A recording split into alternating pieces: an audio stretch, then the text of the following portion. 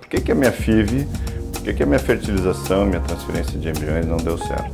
Meu nome é Jean-Louis Maiar, sou ginecologista, especialista em reprodução humana aqui da Fecundade. E hoje eu vim aqui conversar com vocês por um assunto que é bastante frequente em casais que estão tentando engravidar por fertilização in vitro. Existem vários fatores né, para que a FIV, a fertilização, enfim, possa não dar certo, não ter dado certo para um casal. A chance maior da, da gravidez ocorrer por processos de reprodução assistida está na nossa capacidade de gerar mais e melhores embriões. O que, que faz termos mais embriões ou, ou embriões de melhor qualidade, de basicamente idade dos ovos, é onde a gente tem uma grande diferença de resultado, e número. Por que número? Porque nós, humanos, nós temos uma biologia que não é tão perfeita. As pessoas às vezes imaginam antes de vir fazer um ciclo de reprodução que elas vão, ah, eu vou lá, vou tirar três, quatro óvulos, terei quatro embriões e isso vai me deixar uma boa chance de engravidar. Infelizmente não é assim.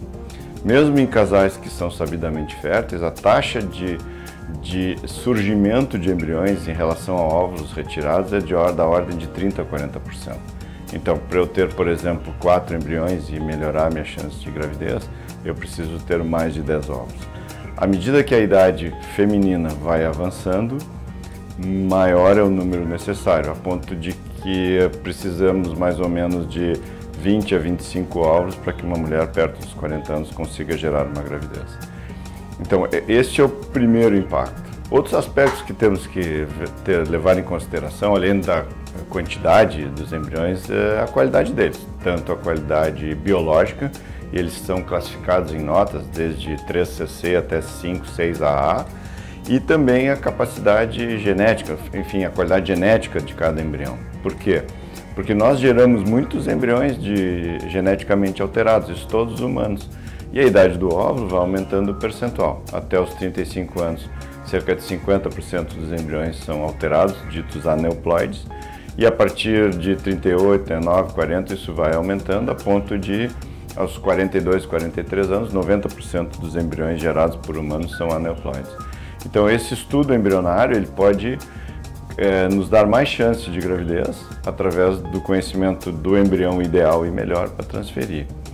É, os aspectos ligados a endométrio, a parte imunológica, a parte de trombo, trombofilias, que tem muitos, muitos trabalhos mostrando é, relação, hoje não tem nada comprovado que mostre é, ser essa a causa, às vezes, da falha da implantação. Eu sempre falo que se endométrio fosse um, um processo, uma área tão importante, tão essencial, a gente não teria gestações extra-uterinas não teria gestação tumária, não teria gestação ovariana. Então, o que, que faz um embrião nidar, seja em qualquer lugar? É a capacidade dele, é a capacidade biológica, é a capacidade energética e ele ser um embrião geneticamente normal. Então, quanto mais jovem o óvulo, quanto maior o número de óvulos eu tiver, maior vai ser a minha amostragem e isso vai me dar mais chance de poder ter uma gravidez. Então, antes de imaginarem ou, ou programarem uma fertilização, saibam que não é algo que é 100% de resultado. Os resultados são muito bons, são muito melhores que já estiveram, mas quanto mais precoce for a decisão em relação à idade ovariana, mais a chance desse casal ter uma gravidez. E não, não se preocupem, é, mesmo que vocês façam um, um ciclo, é, não deu certo, não fiquem desesperados, não fiquem desanimados. Voltem na, sua, na clínica que vocês foram, voltem conversar com, com um especialista para tentar analisar e entender. É, aqui na clínica a gente faz muito isso. A fecundidade sempre gosta de receber, mesmo que os casais não, não continuem aqui conosco, mas de receber para tentar ter um, um entendimento do que houve, até para ver se vale a pena seguir fazendo ciclos ou não.